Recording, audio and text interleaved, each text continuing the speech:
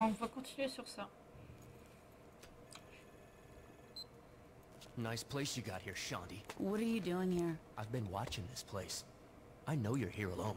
Not for long, I'm not. So you better get the... Don't make this difficult. Bitch!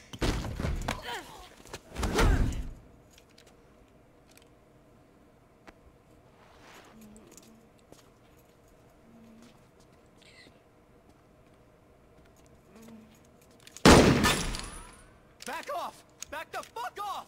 You think you're walking out of here? Unless you want a bullet in this bitch, you're goddamn right I am. Kid, you just made us You know who the fuck I am? Seeing as I'm gonna kill you in a few seconds, I don't really give a shit. Keep your distance!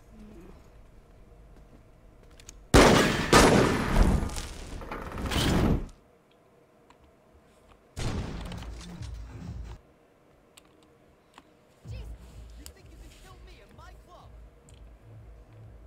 Oui.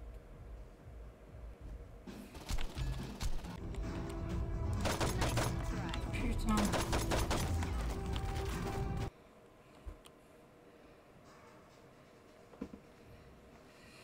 Shaundi, you okay?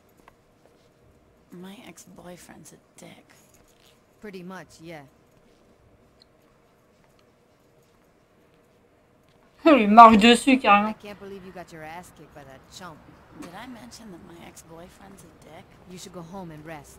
If by resting you mean smoking an ounce, then hell yeah.